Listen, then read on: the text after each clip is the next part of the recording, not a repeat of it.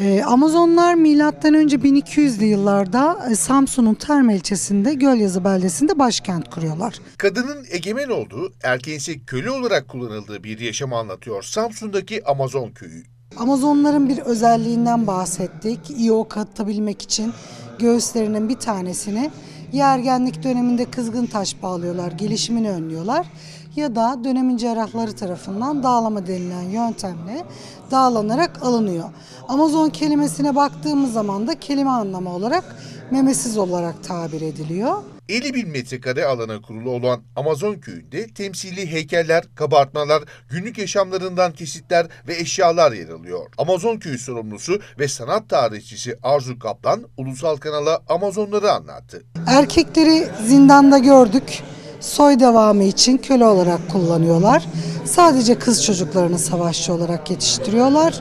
Ee, yılda bir kere diğer topluluklarla soy devamı için bir araya geliyorlar.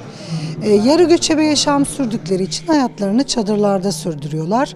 İki adet çadırımız var. Onlar... Kaplan, Amazon kadınlarının Orta Asya'dan geldikleri ve İskitlerin kadınları olarak bilindiğini söyledi. Tabii ki günümüzde e, Amazonlar var mı dersek e, Amerikalı arkeolog Davis Kimball araştırma yapıyor Orta Asya'da.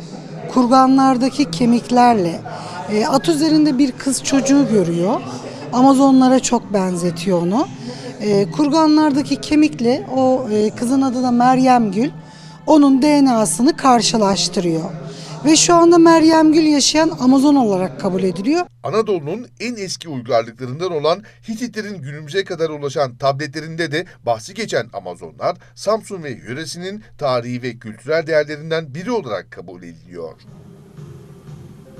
Дешевна,